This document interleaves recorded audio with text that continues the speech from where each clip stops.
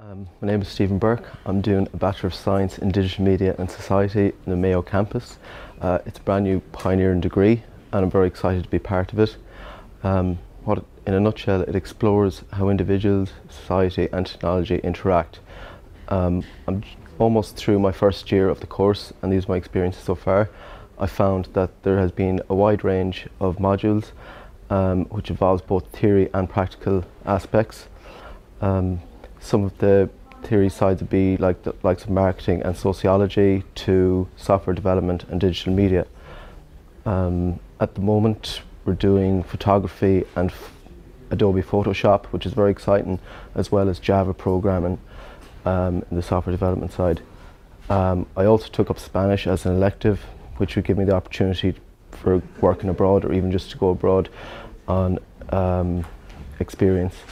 Uh, um, what I like about the college is that the uh, lecturers are very helpful and very approachable and they're willing to deal with any problems you may have.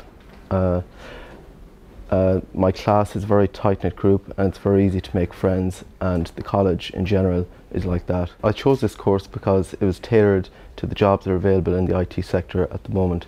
The likes of social media has come a long way and uh, companies are adapting to that now.